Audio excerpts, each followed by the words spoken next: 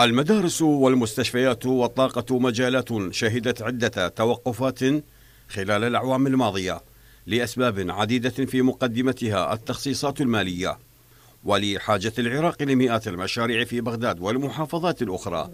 فقد باشرت الوزارات والمؤسسات المعنية برفع العقبات المالية والإدارية لانطلاق العمل بتلك المشاريع.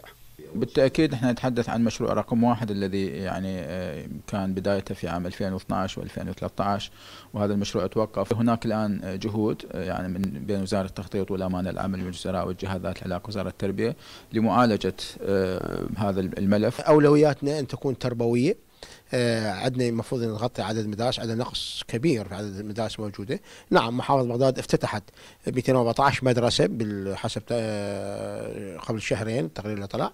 وأمانة عامة الوزراء مشكورة حالة 144 مدرسة لصالح محافظة بغداد. آه، أيضا نحتاج بعد عدد مدارس ولم يمثل بناء المدارس والمستشفيات أصل المشكلة وإنما بالأراضي المخصصة لإقامة تلك المشاريع.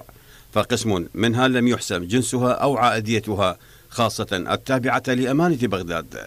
بعض الأراضي تكون خارج التصاميم الأساسية وبأجناس زراعية. هاي نتعامل وياها تحتاج إلى آه، موضوع يعني كثير من الإجراءات يعني. والحمد لله في الآخر يعني آه، يعني آخر الحال هي اختصرت بموضوع اللجان الفرعية يعني. الأمانة مجلس وزراء كنا نرفع الأمانة مجلس وزراء بعد استحصال موافقة الجهات القطاعية. إحنا كان عندنا أربع مستشفيات لا زال نعمل بها آه، نسب إنجازها فاقت الستين 60% أيضا عندنا سبع مراكز صحية.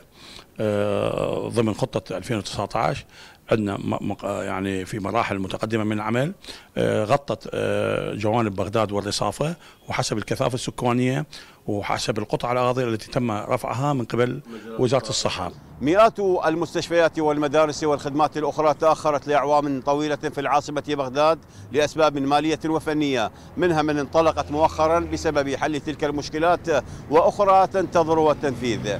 عباس نعمه العراقية الإخبارية بغداد.